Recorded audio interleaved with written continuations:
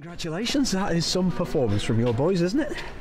Yeah, outstanding today. Um, obviously last week wasn't too great, and um, but the lads have you know they set a marker down now, show what they can do. It's, it's nothing that we didn't know.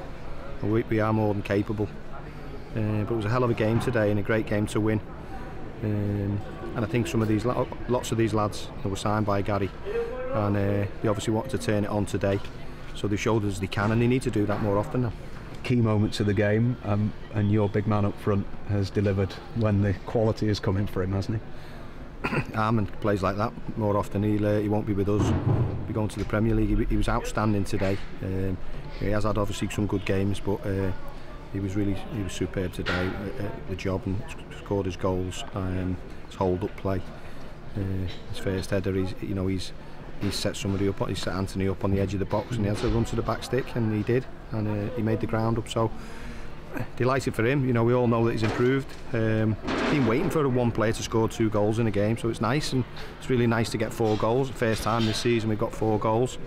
Um, obviously disappointed not to keep the clean sheet at the end but you know, get a bit sick of clean sheets and, uh, and not winning games. I just want the, the, three points and score a few goals, and we've done that today.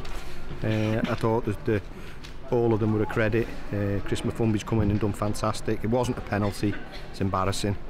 Um, I don't know where he's made that one up from. I knew it wasn't at the time and I've just watched it three times over.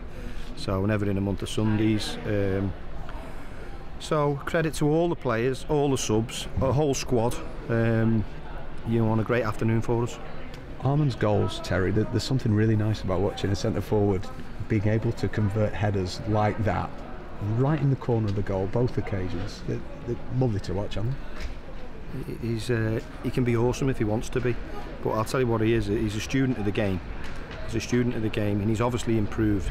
But he is listening. You know, he is listening. He's getting better, and he's you know saying two touch, two touch, and get in the box and make sure you're between the sticks. And then no one wants to play against him there, lads. Certainly didn't want to play against him today.